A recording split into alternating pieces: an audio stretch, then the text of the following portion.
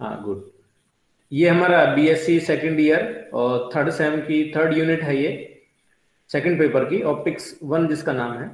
और इसमें जो हमारा मेन है वो इंटरफेरेंस है इस यूनिट का नाम। और इसमें आप, इसका फ़र्स्ट लेक्चर है हमारा ये, इस ऑप्टिक्स वन जो पेपर है सेकंड पेपर और यूनिट थ्री का।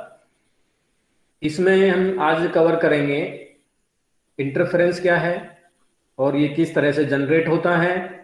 जिसके दो पार्ट हैं constructive interference and destructive interference और इसकी कंडीशंस क्या हैं कि किन कंडीशन पे ये हमारा इंटरफेरेंस बनता है? क्या क्या कंडीशंस होनी चाहिए इंटरफेरेंस के लिए? एंड टाइप ऑफ़ इंटरफेरेंस कि बेसिकली ये कितने टाइप का इंटरफेरेंस है? तो चलते हैं हम अपनी फ़र्स्ट स्लाइड सेकंड स्लाइड की तरफ़। तो ये है इंटरफेरेंस जैसे नाम से ही क्लियर है कि आप इंटरफेरेंस का बाइफ्रिकेट कर लो इंटर और फेयर यानी इंटरफेयर करना समझो एक तरह से, यानी जब भी किन्हीं दो चीज़ों का बीच में जैसे कोई इंटरफेयर कर रहे हैं किसी के दूसरे के काम में इंटरफेयर कर रहे हैं तो वो इंटरफेरेंस से आप इसको रिलेट करके और इसकी डेफिनेशन को याद रख सकते हैं कि इंटरफेरेंस क्या है। Interference is a phenomena in which एक एक प्रोसेस है जिसमें two waves superpose to form resultant wave यानी जिसमें दो वेव अलग अलग डिफरेंट एम्पलीट्यूड्स हो सकते हैं उनके, और, लेकिन उनका जो वेवलेंथ है, वो सेम वेवलेंथ होनी चाहिए। इस तरह से दो वेव्स का हम इंटरफेयर अगर हम उनको करते हैं सेम सोर्स की भी हो सकती हैं। और तो रिजल्टेंट वेव जो बनेगी, वो ओवरऑल उसका एम्पलीट्यूड है, वो बड़ा भी हो सकता है, और छोटा भी हो सकता है, और सेम एम्पलीट्यूड भी हो सकता है। ठीक है? उन दोनों को मिलाकर के जो वेव नई वेव बनेगी, उस वेव को हम बोलेंगे कि ये ये वेव्स का इंटरफेरेंस हो रहा है। ठीक है, और उसके बाद जो जनरेट वेव होगी, वो हमारी रिजल्टेंट वेव होगी। इसको अंडरस्टैंड करने के लिए हमारे पास है x following is the explanation how the light wave interference with each other कि दो लाइट वेव हैं, वो एक दूसरे से किस तरह से इंटरफेयर करती हैं। इसको डिटेल में समझने के लिए ये हमारे पास दो तरह के, दो तरह के इंटरफेरेंस हैं। एक कंस्ट्रक्टिव इंटरफेरेंस है और दूसरा है डिस्ट्रक्टिव डिस्ट्रक्टिव इंटरफेरेंस है। Constructive interference and destructive interference अब इनको समझेंगे नेक्स्ट स्लाइड में. कंस्ट्रक्टिव इंटरफेरेंस एक बार समझने के लिए ये इमेज देखो. मान लीजिए हमारे पास ये कोई एक वेव है. वेव वन और सेकंड वाली मान लीजिए हमारी वेव टू है. और ये कंस्ट्रक्टिव इंटरफेरेंस कब कहा जाएगा? ध्यान से सुनने वाली बात है. जब इस, ये एक वेव है, ये इसका ऊपर वाला जो पॉइंट है, ये क्रस्ट है और नीचे वाला ट्रफ है. ये आप लोग बहुत बेसिक है वेव्स के बारे में और सभी लोग जानते भी होंगे इसके बारे में. ये कोई सेकंड वेव है, इसका भी ये क्रस्ट है, इसका ये क्रस्ट है। और ये सेकंड दोनों वेव का ये ट्रफ है और ये ट्रफ है। कंस्ट्रक्टिव इंटरफेरेंस जब होगा कि एक वेव का क्रस्ट और दूसरी वेव का क्रस्ट एक स्टेट यानी पैरेलल होंगे दोनों एक दूसरे के। ठीक है तो ये, जब ये दोनों आपस में वेव इंटरफेयर करेंगी, यानी मिलेंगी तो ये क्या होगा कि एम्पलीट्यूड इसका बढ़ जाएगा।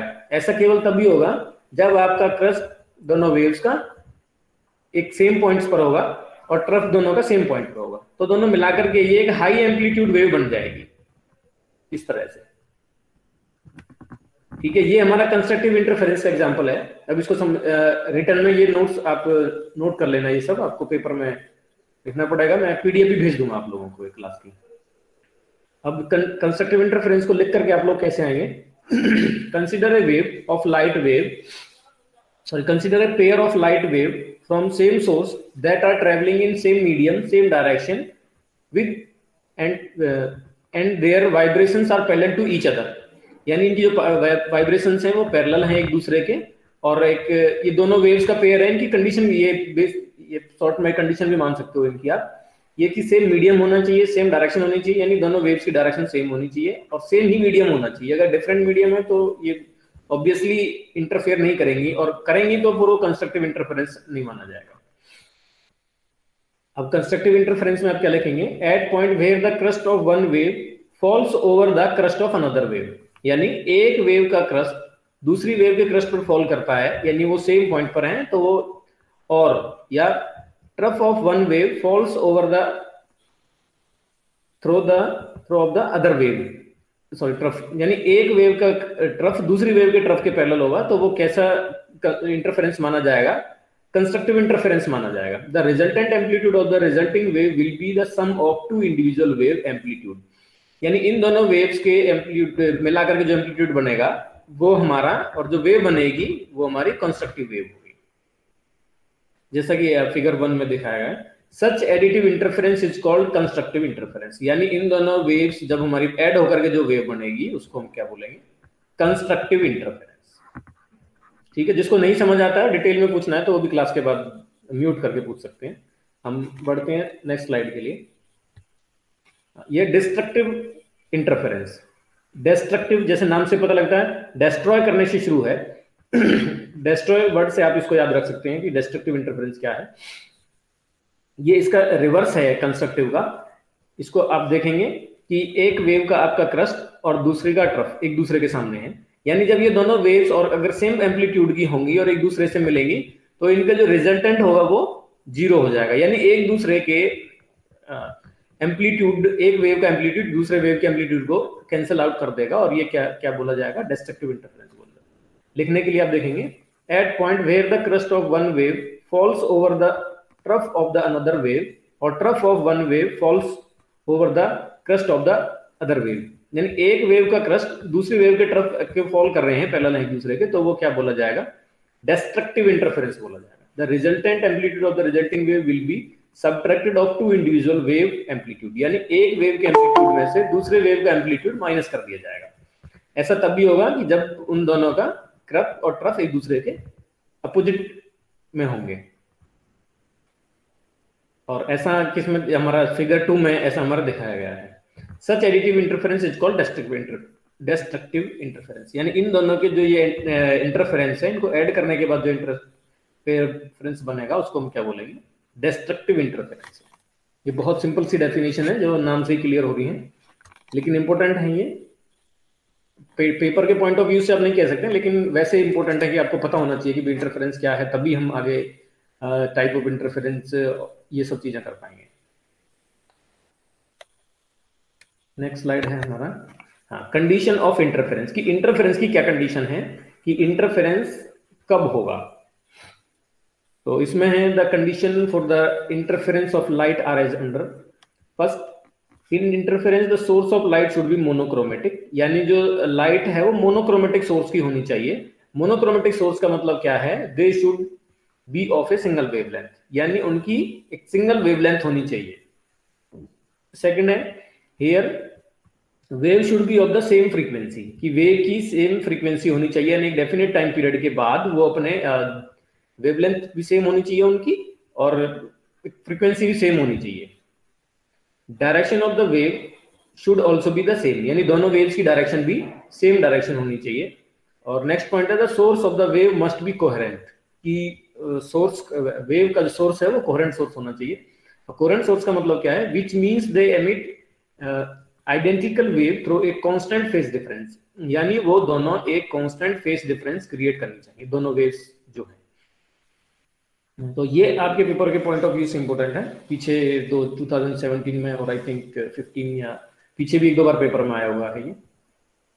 तो नेक्स्ट है हमारा type of interference basically interference दो टाइप mm, का है। Interference can be divided into the following two types first है interference by division of wave front and second है interference by division of amplitude दोनों को आप देखेंगे आपके थर्ड सेम के सिलेबस में तो फ़िलहाल डिवीज़न ऑफ़ वेव फ्रंट ही है और डेफिनेशन इसकी भी बता देंगे लेकिन सेकंड फोर्थ सेम में आपका आएगा डिवीज़न ऑफ़ एम्पलीट्यूड तो उसके अलग अलग पार्ट्स हैं वो सेकंड फोर्थ सेम में पूछे जाएँगे आपसे। तो interference by division of wave front जैसे अभी आप देखेंगे कि जो इंटरफेरेंस है डिवीज़न ऑफ़ वेव फ्रंट पे डिपेंड है, ये एम्पलीट्यूड पे डिपेंड है, बस ये दोनों दोनों टाइप हैं इसके। अब हम इसको सीखते हैं। Interference by division of wave front कि interference by division of wave front क्या है? इसको समझो। In this class wave front is divided into two parts wave front कितने पार्ट्स में डिवाइड है? दो पार्ट्स में किस डिवाइड होता है। बाय रिफ्लेक्शन एंड रिफ्रैक्शन ये रिफ्लेक्शन से भी डिवाइड हो सकता है और रिफ्रेक्शन से भी डिवाइड हो सकता है। यानी डिवीज़न ऑफ़ वेव ही है ये।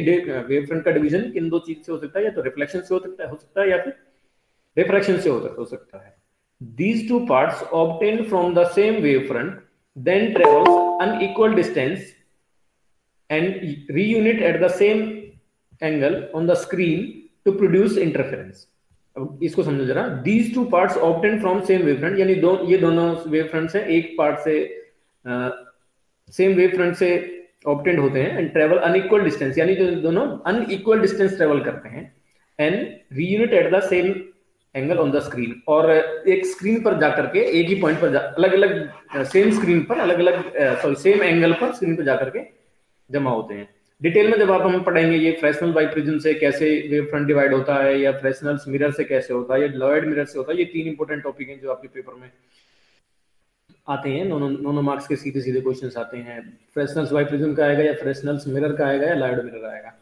तो ये इंस्ट्रूमेंट है, ये the instrument use to obtain interference by division of wave front are the Fresnel's bi या फ्रेशनल्स मिरर और लॉयड मिरर ठीक है नेक्स्ट है हमारा interference by division of amplitude इसको समझो। In this class amplitude amplitude of a beam is divided into two parts यानी जो एम्पलीट्यूड है, वो दो पार्ट्स में डिवाइड हो जाता है। आइदर बाय पार्शियल रिफ्लेक्शन या तो पार्शियल रिफ्लेक्शन से या रिफ्रैक्शन से। The divided beam travels different path and interface जो डिवाइडेड बीम है, वो क्या करेगा? डिफरेंट पाथ ट्रेवल करेगा और डिफरेंट इंटरफेस करेगा। Two parts obtained from the same wavefront then travels unequal distance यानी यहाँ पर क्या करेंगे, ये अनइक्वल डिस्टेंस ट्रेवल करेंगे and reunites at small angle on the screen to produce interference और ये स्मॉल एंगल पर स्क्रीन पर रीयूनिट्स अलग अलग पॉइंट्स पर जमा हो जाएँगे। The interference in thin film इसके एग्जांपल हमारे thin film Newton ring Michelson interferometer are the example examples of two beam interference ये हमारे टू बीम इंटरफेरेंस के एग्जांपल्स हैं। दैट्स ऑल आज की क्लास हमारी यहीं तक है।